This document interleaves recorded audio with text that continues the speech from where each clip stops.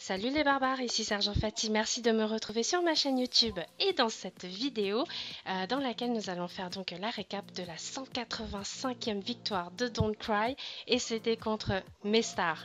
Ce clan là, on va vous en parler, on va en rigoler tout le long de cette récap.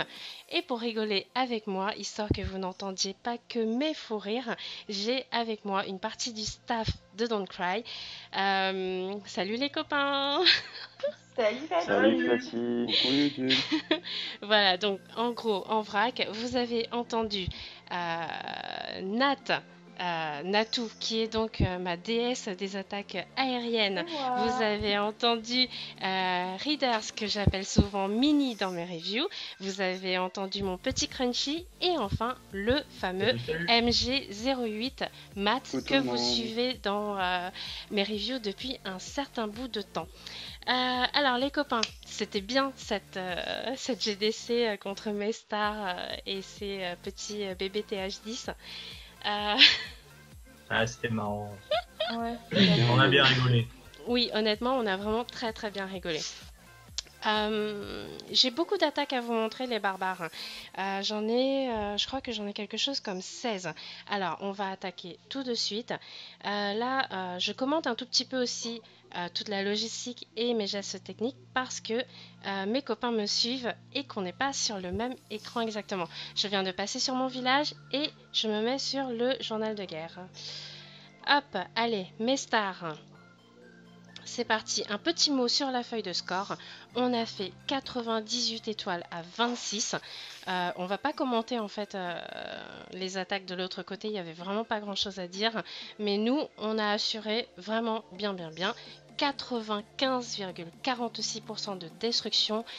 Et pour rappel, pratiquement, euh, enfin, un grand nombre de nos TH9 ont fait des Tristar sur des TH10. Bon, ce sont des BBTH10, je suis d'accord, mais euh, voilà, c'est quand même du TH10 avec euh, TDE et tout et tout, les trucs qui font peur, euh, blablabla. avant de vous montrer les très très très très belles attaques, je vais vous montrer eh ben, mon attaque à moi. Ah, c'est pas la plus belle. Hein. Non C'est parti, allez, ça taille de tous les côtés. on va sur le 28. C'est pour qu'on est là, non? Et oui, euh, je pense que je commence déjà à regretter, mais c'est pas grave. voilà donc le village que j'ai attaqué. Sur les bons conseils de mes copains, j'ai attaqué avec un Golaloon. Allez, on va passer en x2. Je vous raconte vite fait ce que j'ai voulu faire. Euh, funnel à 9h. Donc euh, là, voilà, tout est nickel. Mon funnel est juste magnifique. Il n'y a pas d'autre mot. Honnêtement. On va dire ça comme ça. Hein. Toi. Il est correct. Et franchement, le lancement de Momo, ça va. Les ballons, ça peut passer. non. ça non, ça va, les ballons, c'est bien. Franchement, les ballons, ça va. Environ à peu près. Par contre, là où j'ai euh, un peu foiré, je trouve, ce sont les sorts. J'ai un peu de mal avec les sorts, surtout les haste. Euh, et en plus, j'ai oublié le poison, du coup dans cette attaque. C'était chaud. Ouais. ouais. Ah, mais on n'avait pas besoin. Ouais, mais bon, quand même, c'était c'était un peu limite quand même. Là, sur la fin, là, là, à ce moment-là, franchement, j'avais un peu peur. Reste 30 secondes et les ballons, ils se séparent pas vraiment. Ah, là, ça y est, je commence à moins transpirer. Je peux ranger mon déo. Ça, c'est une dédicace à Crunch. de suite. Pour, le déo, c'est pour les journées couettes. donc, euh, donc voilà, ça c'était mon attaque et euh, c'était euh, une toute petite attaque. On va passer maintenant aux autres attaquants. on va en voir beaucoup et on va voir donc les Tristar que nos TH9 ont fait sur les TH10 en commençant par Pitch. Hop, c'est parti. Et là, je vous laisse la parole, les copains. Déjà, le village, honnêtement, j'aime pas ce genre de village. Hein. Les trucs quadrillages. c'est assez chiant ces villages. Donc, pour commencer, elle sort le château. Après. Là, je passe en x2. Ah, tu passes en x2, d'accord. Oui. Donc, elle se débarrasse du château en premier. Elle fait un petit funnel à 6 heures en bas. Donc c'est un Golaloon euh, Blooded avec un seul golem pour euh, avoir les deux, les deux, les deux anti-aériennes en bas. Ensuite, euh, elle tue la reine qui est à gauche? Qu'est-ce qu'elle fout à gauche, cette reine? Bravo le village. Et du coup, la partie R qui commence, euh, les ballons en mode surgical. Et ça se passe plutôt bien. Voilà. les sorts, ils sont bien posés, hein. les haze, ils sont pas mal. Hein. Ah ouais, ça va. Par contre, elle a pas tué la reine. Ouais, mais il y en a pas besoin. C'était une petite reine, hein. je crois que c'était une reine 2 ou quelque chose comme ça. 5, non 5 Reine 5, ouais. Reine 5 C'est mieux de la tuer. Ouais. Ah ouais, bon, ça ah, va. c'est mieux reine de la 5. tuer, après quand elle est dans un coin du village, elle sert pas à grand chose. Ouais, De toute façon, la reine, elle est à l'ouest. hein. Ouais, grave. Donc voilà, en tout cas, très très belle attaque de Peach. Euh, avec euh, tout le reste de la troupe euh, pour le finish sur la reine. Alors, après Peach, on a donc l'attaque de Nat sur le 23. Pap, pap, C'est moi. pap, euh, voilà, Mmh. Natou sur le 23. Allez, vas-y Nat, raconte-nous.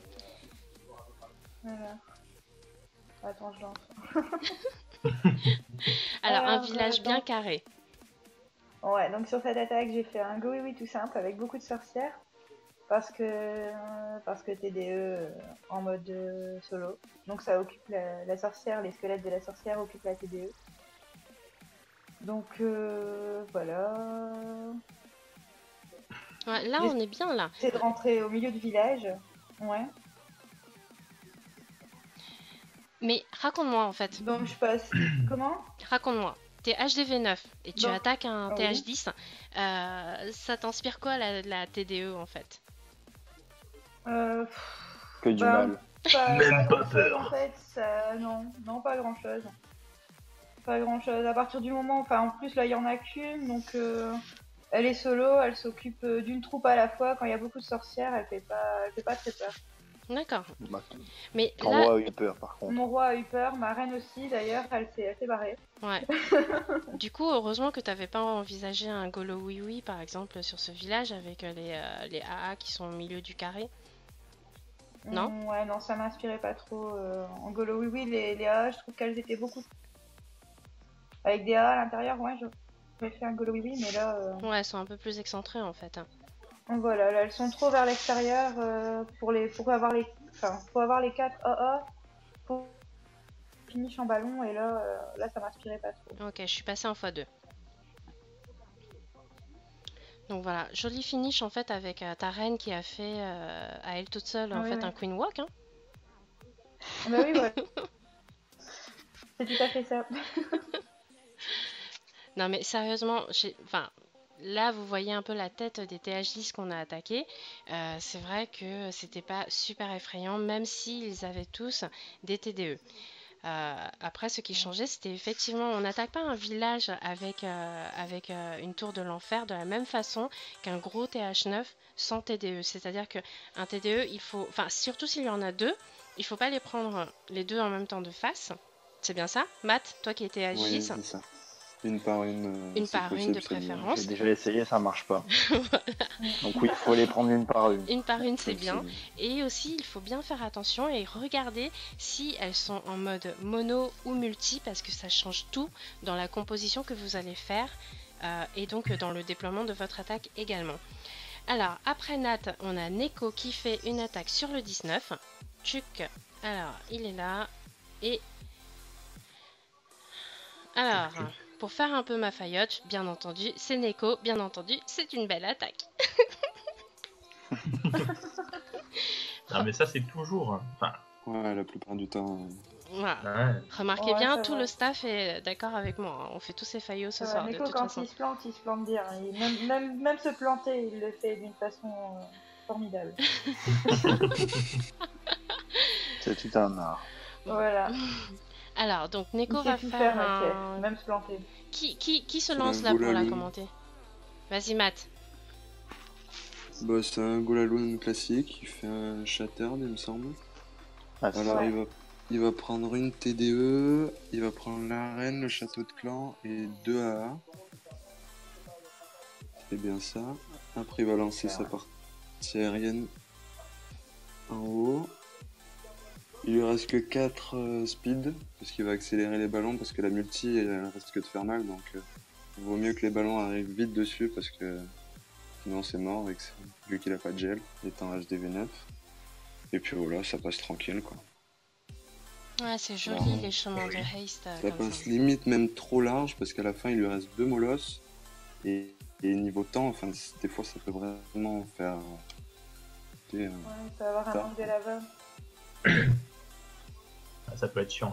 Ça manque de. Ah oui, oui, c'est vrai, les momos n'ont pas explosé Ouais, du tout, ouais. Il en reste deux, et quand il en reste deux, niveau temps, euh, souvent, euh, Ouais. ça risque de faire Ouais, c'est Ouais, vrai. ça fait du bien. Bon, là, c'est passé, mais euh, il me semble que c'est passé c'est tout juste. Je passe en passé, x2. Ouais, c'est vrai que là, on a deux molosses qui sont entiers. Euh, S'ils avaient explosé, on aurait eu des, euh, des petits roquets de lave, euh, donc plein pour faire le déblayage après. Mais là, voilà, on a pratiquement que des ballons parce que les molosses, si on compte sur eux, à part les AA, ils n'aillent pas grand chose en fait. Hmm. Grosso C'est modo. Une belle attaque. Donc voilà, mais bien entendu, c'est une belle attaque de notre chef. Alors, après, mais grave. Attends, sans ça, je pourrais pas rester. Euh, allez, Fabien nous a fait un joli, un joli, un joli, euh, Il nous a fait une espèce de mot. Une jolie attaque. une jolie attaque. Merci, Il a fait un AQH avec euh, des momos. merci. Là, ça se voit, j'ai préparé euh, ma review aujourd'hui. hein.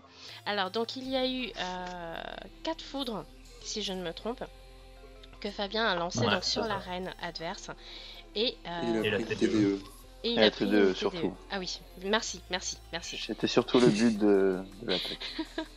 TDE Enfin, du, et Rennes. de foudre. Ouais. Voilà. Et donc là maintenant, euh, le funnel en fait est composé juste du couple royal, roi et reine, euh, qui vont arriver sur l'intérieur. Alors j'ai lagué un tout petit peu.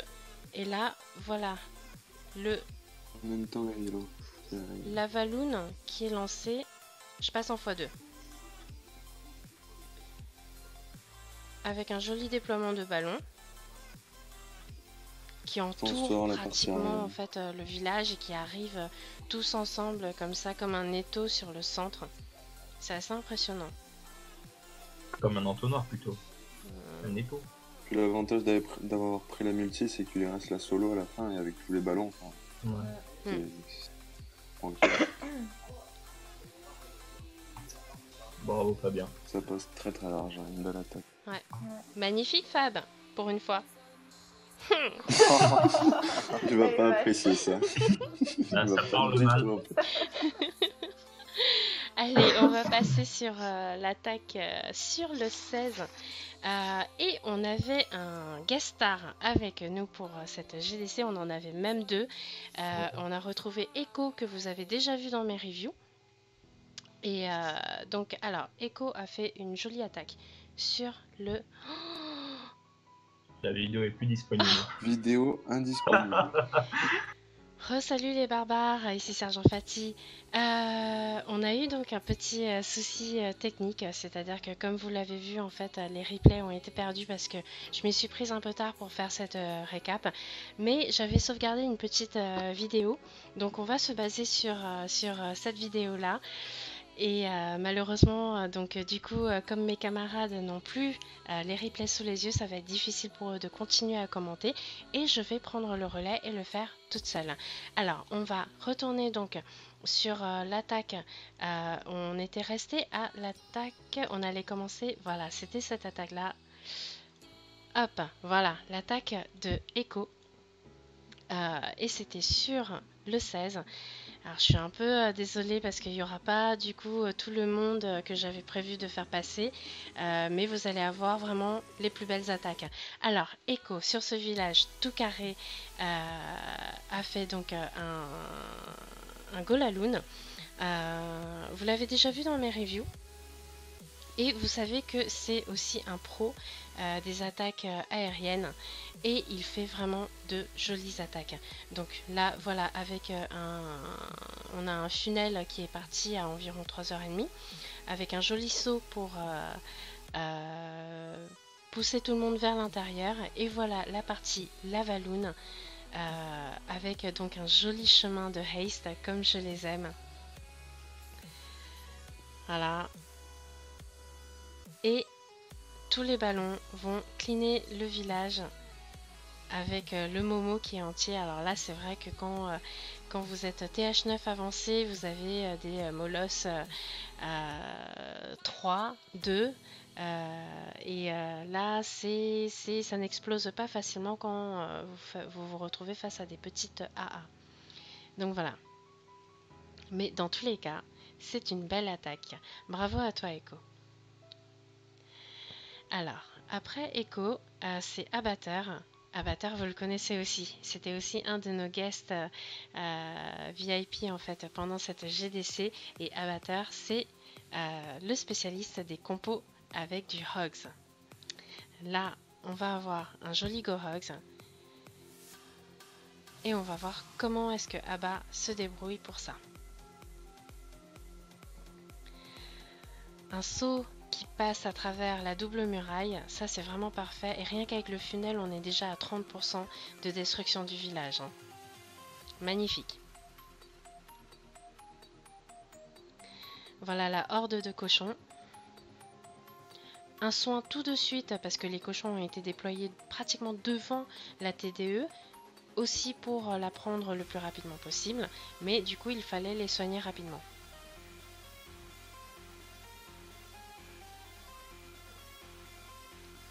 Et là, le reste des bâtiments défensifs, ça va être du beurre pour les Hogs. Très très jolie attaque. Très jolie attaque. Vraiment bravo à toi Abba pour cette attaque.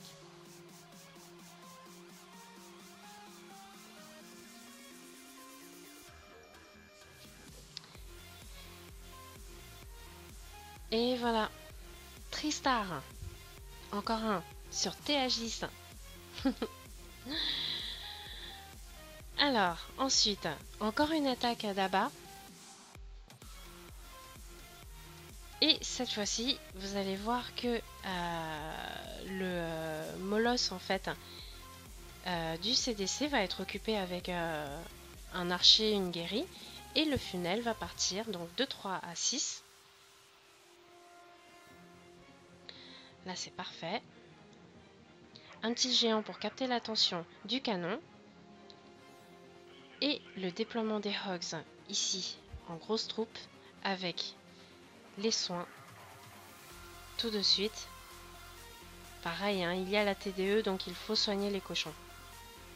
Alors il faut savoir que d'après ce que j'ai compris, euh, quand vous posez un soin sur des troupes qui sont sous le feu d'une TDE, euh, en fait la TDE rend le soin caduque sur la troupe qu'elle est en train de taper. C'est-à-dire que euh, si euh, votre TDE par exemple mono est focalisé sur mettons un cochon en particulier, et eh ben ce cochon il ne va pas pouvoir bénéficier en fait du soin. Mais tous les autres, si. Alors après Abba, on a ici l'attaque de Mini que vous avez entendu tout à l'heure. Et c'est un Golaloon Mini va faire avec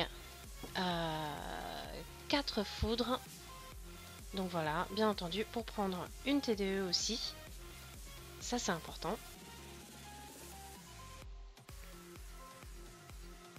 Le funnel est engagé.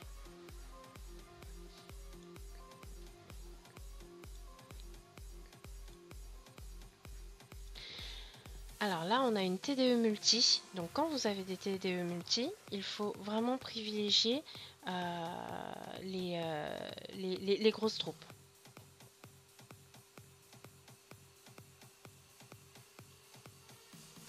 Voilà le lavaloon qui est lancé.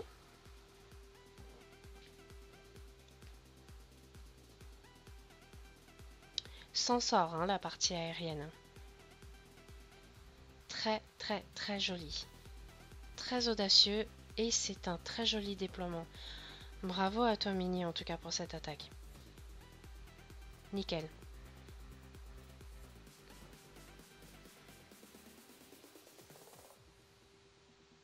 Et voilà, Tristar. Alors, après Mini, on a euh, l'attaque de l'OR. Un petit go hug.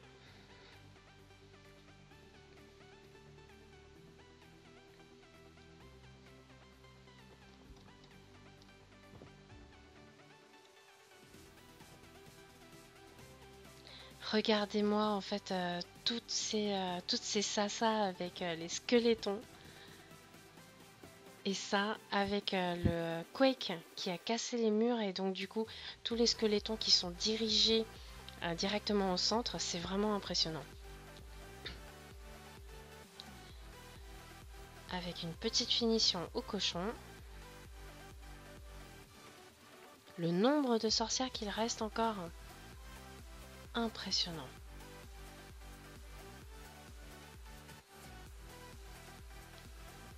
Très jolie attaque de l'OR.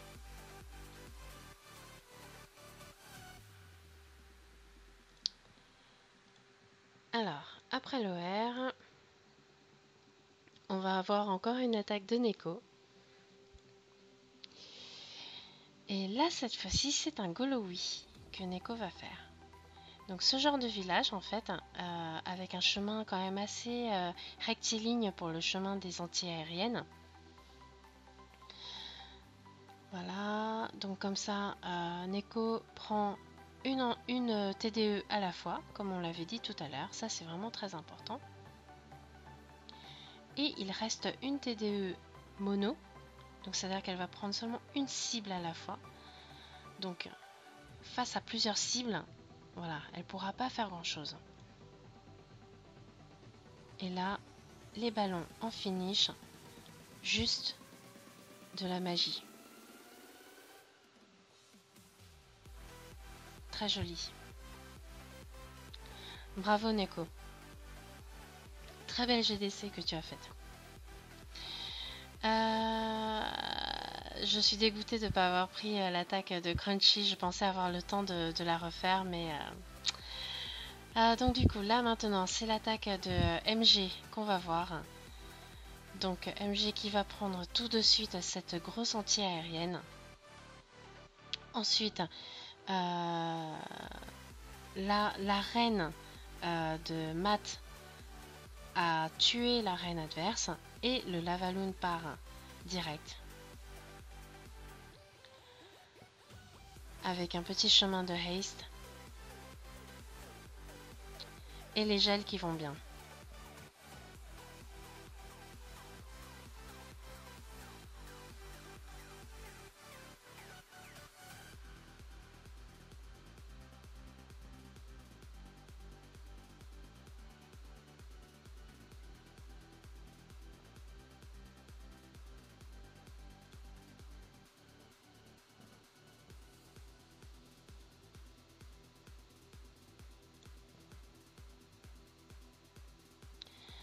Le roi qui prend les dernières euh, défenses euh, à 9h et les ballons qui s'occupent de la dernière TDS.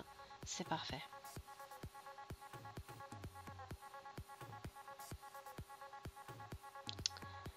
Voilà, village à poil.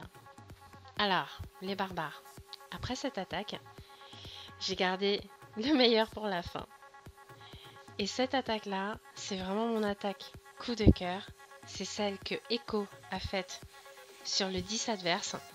Et honnêtement, franchement, c'est une des attaques les plus belles que j'ai jamais vues. Vous savez comme j'adore les chemins de haste en fait quand on fait une attaque euh, aérienne. Et là, Echo nous a gâté avec 7 speed et un AQH. Donc avec euh, son AQH, il va prendre cette première anti-aérienne là euh, sur euh, la gauche. Voilà, là c'est lancé. Les servis, vous voyez, en fait sur les bords ont déjà commencé leur travail de déblayage. La reine s'occupe aussi du CDC adverse, c'était un dragon. le roi ici va aller prendre euh, bah, la reine adverse, du coup. Voilà. Comme ça, c'est fait. Et là, vous allez voir le déploiement de la partie aérienne avec ce chemin de haste qui est juste, comment dire, orgasmique. Il n'y a pas d'autre mot. La reine continue son chemin en haut. Donc là, c'est vraiment un très joli euh, Queen Walk aussi.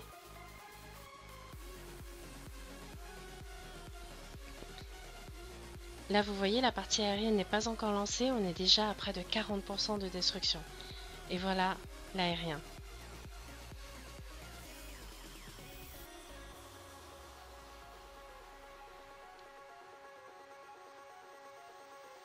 Regardez-moi ces couleurs.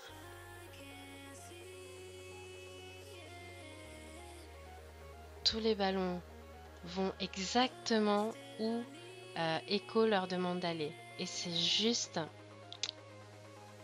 Waouh Il y a vraiment euh, pas beaucoup de mots pour décrire euh, cette, cette attaque-là.